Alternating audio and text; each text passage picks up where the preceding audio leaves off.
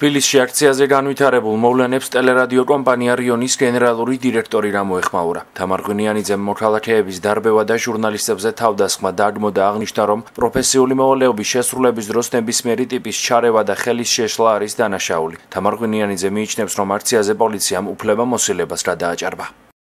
გუშინდელი ფაქტი, რომელიც თბილისში მოხდა, შეიძლება ითქვას, რომ არის ამაზრზენი და ტრაგიკული.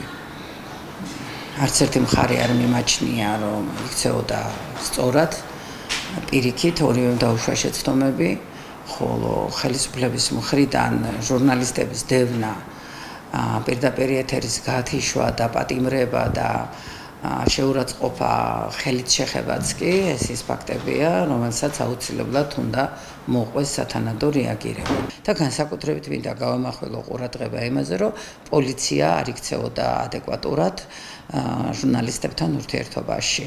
ჟურნალისტების ხელით შეხება ხელშეშლა საქმიანობაში პირდაპირ ეთერის გათიშვა, კაბელების აღება პარლამენტის შენობიდან, რაც ჩვენ ჩვენი თვალით ვნახეთ, არასწორია და მე ვფიქრობ, პოლიციამ გადააჭარბა თავისუფლება მოსილებას.